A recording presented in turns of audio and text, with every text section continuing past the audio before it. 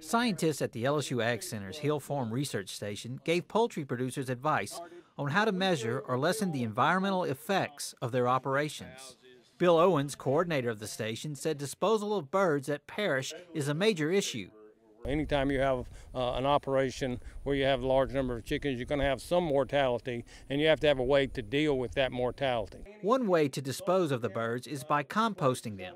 Owens is experimenting with an EcoDrum composter and is trying to determine how factors such as airflow, composting materials, and time influence the decomposition process. One potential drawback is the initial cost.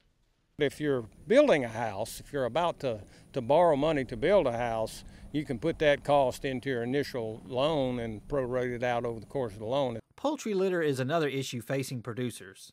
Ag Center poultry specialist Teresa Lavergne stressed the benefits producers can get by windrowing and composting their litter. When we compost it, we have a benefit to both the chickens and people as well because we heat that litter up to a high enough temperature to re- kill pathogens and bacteria. Lavergne said that once an operator becomes proficient in windrowing, it typically takes no more than 90 minutes to windrow a house. She also said the practice can be used any time of the year. Environmental temperature of the house does not influence the temperature of the windrow. The windrow heats up by itself. So it can be it's a management tool that can be used year round. Scientists at the station are also studying if fan dust is a source of pollution. With the LSU Ag Center, this is Craig Gautreaux reporting.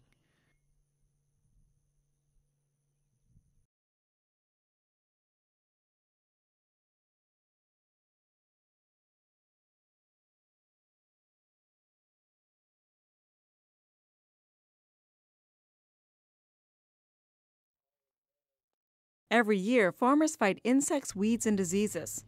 But this year, they are battling frequent rains, which are complicating their pest control strategies. LSU Ag Center plant pathologist Trey Price told participants at the Ag Center's Northeast Research Station Field Day that wet, humid weather is conducive for the development of diseases. He warned about the disease target spot in cotton. It's a really fast moving disease under the right conditions and can really defoliate cotton uh, fairly quickly. Price said corn growers need to watch for the disease, northern leaf blight.